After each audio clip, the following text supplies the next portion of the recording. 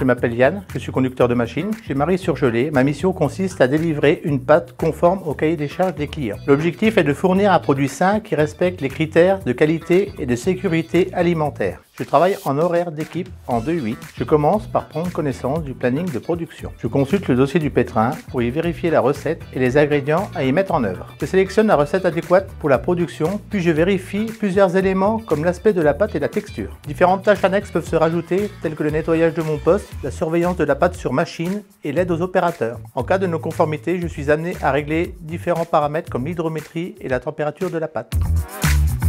Pour être un bon conducteur de machine, il faut être avant tout rigoureux et autonome. Cela demande aussi de la curiosité puisqu'il faut s'adapter aux changements et être prêt à développer de nouvelles compétences. Il faut également être bon bricoleur pour pouvoir réaliser des réglages, du montage et du démontage sur les machines. Les règles d'hygiène et de sécurité sont très strictes. La rigueur est donc une qualité importante puisque nous travaillons sur des produits alimentaires. Une de mes préoccupations est la sécurité au travail.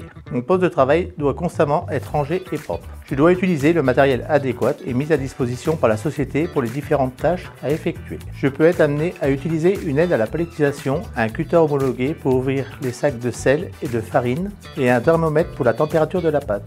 Le port des EPI est obligatoire. L'agence Star People m'a fourni des chaussures de sécurité et Marie Surgelé m'a fourni la tenue complète. Veste, pantalon, charlotte, masque, bouchon d'oreille et gants.